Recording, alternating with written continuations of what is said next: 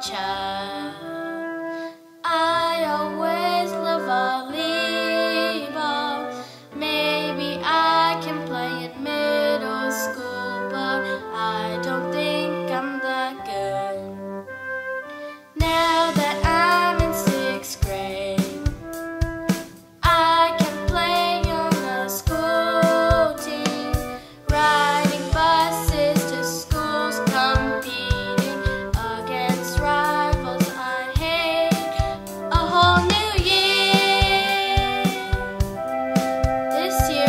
going to be so fun.